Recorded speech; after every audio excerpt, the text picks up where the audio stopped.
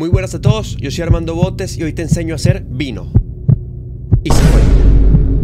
La gran parte de los videojuegos que tienen secuelas suelen mostrar cambios visuales bastante notables, mis compas. Hoy les traigo lo que para mí son los videojuegos los cuales sus secuelas hicieron ver cambios visuales bastante notables. Yo soy Armando Botes, pónganse cómodos, saquen su buena nuca cola, mi pana, y arranquemos con este video. Para arrancar esta playlist decidí utilizar uno de mis videojuegos favoritos en cuanto a visual y también su historia me gustó muchísimo, especialmente el 4. Este, como sabrán y supondrás viendo las cinemáticas, es la franquicia de videojuegos de Uncharted, la cual viene de parte de Sony y Naughty Dogs. Su primera entrega, la cual vimos hace mucho tiempo, fue en 2007 y a pesar de ser bastante divertida, no podemos siquiera comparar visualmente uno de mis videojuegos, como ya te comenté, favoritos, que es el 4. El Uncharted 4, te pongo, sale en 2016 trayendo cinemáticas que parecían de película, mi compa. Escenarios construidos a la perfección y mecánica de manejo de coches y botes, los cuales estaban bastante divertidos, pero a la hora de analizar los paisajes que estaban a su alrededor, te quedabas boca abierta.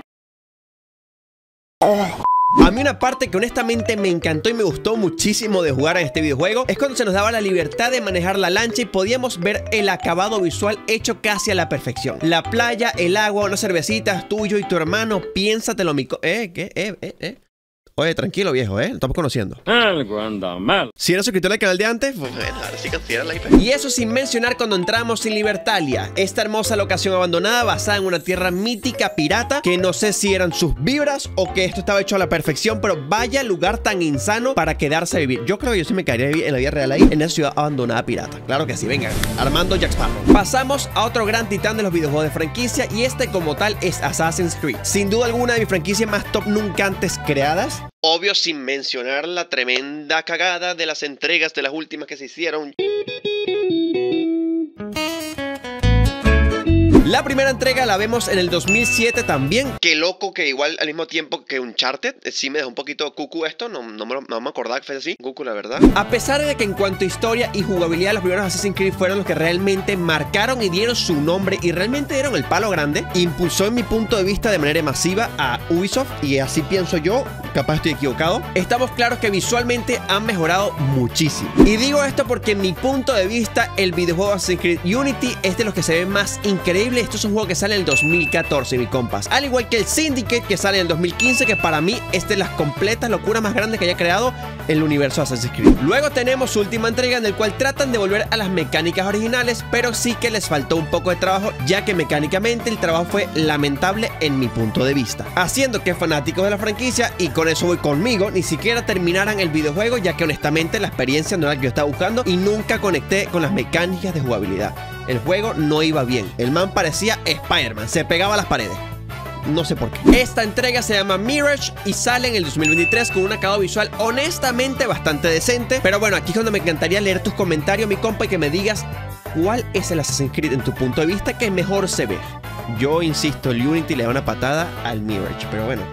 El Mirichi, ahí veis, sí, miraditas. Luego venimos con un videojuego que tiene más años que yo, mi compa. Este es Tomb Raider, una franquicia de videojuegos que viene de parte de Core Designs en el 1996, introduciendo mecánicas de juego bastante únicas y divertidas, dándonos el clásico videojuego de plataforma con puzzles, o sea, rompecabezas. Eh, pensaste que dije otra cosa, ¿no? Eh, mal pensado. Y aventura en un formato bastante increíble. Cabe descatar que este videojuego está en Steam por el módico precio de 5 dólares americanos el día de hoy. ¡Cállese y tome mi dinero!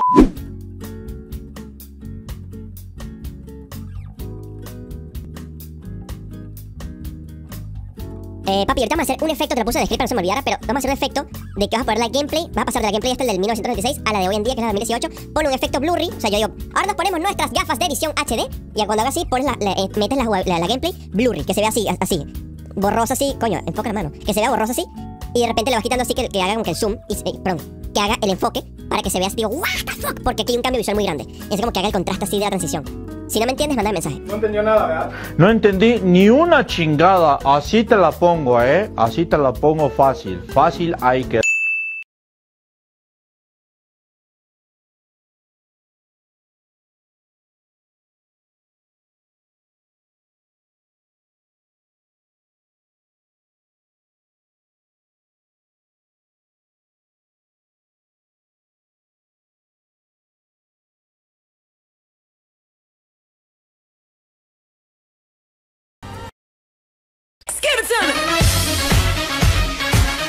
En esta entrega se encargaron de ponerle unos que otros píxeles de más para que se viera mejor y ya. No, mentira. no se pasen lo mucho que cambia el videojuego. Ahora sí se le puede ver los pechos. ¡Eh! Y entonces, mi compa, ¿qué pasa contigo esta noche? ¿Te vas a comportar o qué? Estamos hablando de visuales. Deja de ver. ¿Cómo que se llama? Lana Croft, ¿no? Lana, Lana, Lara, Lana, Lana, Lara. Lana Rhodes, Lana Croft. ¿Cómo que es la vaina?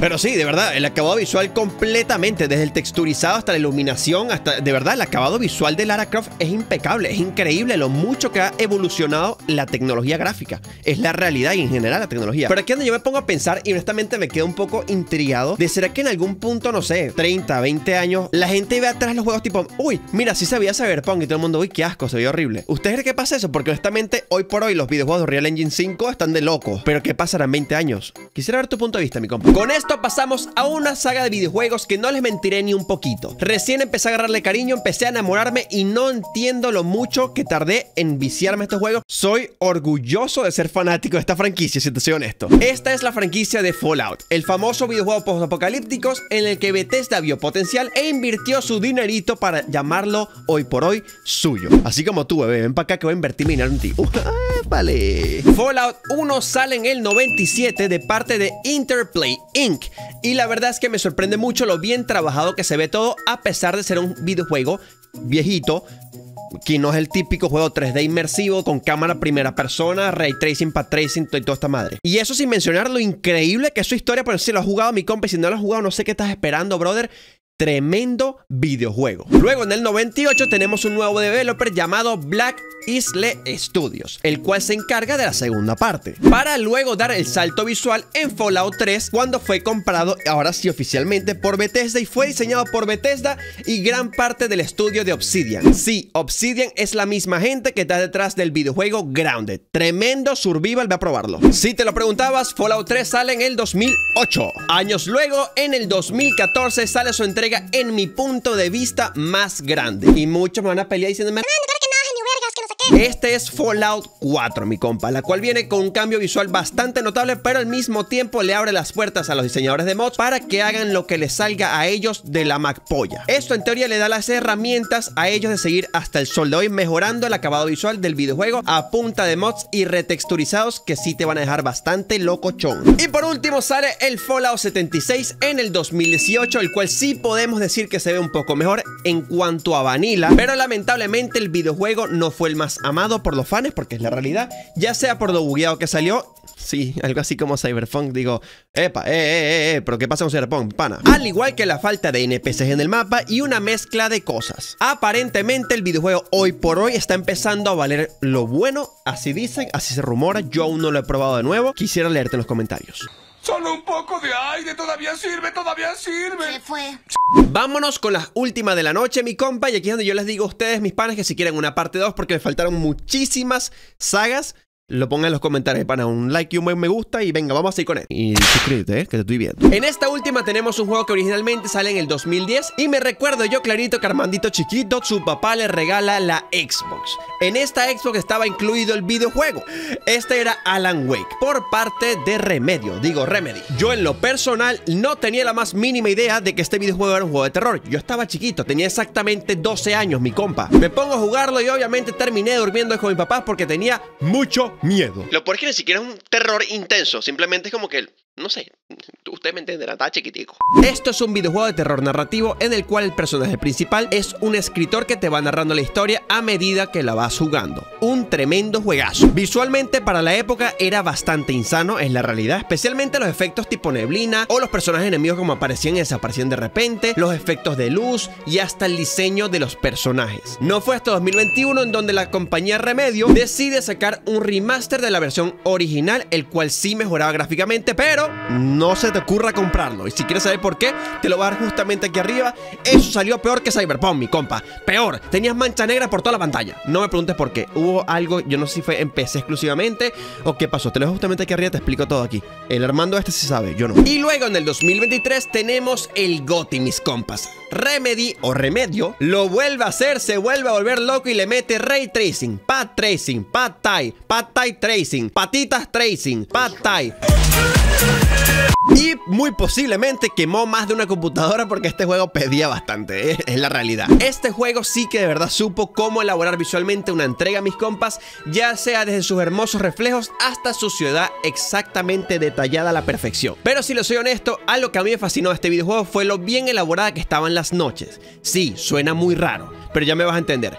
Cuando caía la noche, mi pana, eran aterradoras de por sí, pero el nivel de oscuridad era tan perfecto que cuando sacabas tu linterna, todo como que alrededor de la luz que reflejaba tu linterna se reflejaba y hacía un efecto de rebote insano. Aparte metías estas neblinas insanas e impecables, de repente metían reflejos en el suelo que resplandecían de parte de tu linterna y ya me emocioné, me voy que me pongo loco. Mi compa, dejemos esto por aquí, date un me gusta, no suscribí y si quieres una parte 2 recuerda pedírmelo en los comentarios, te mando un besito en todas esas...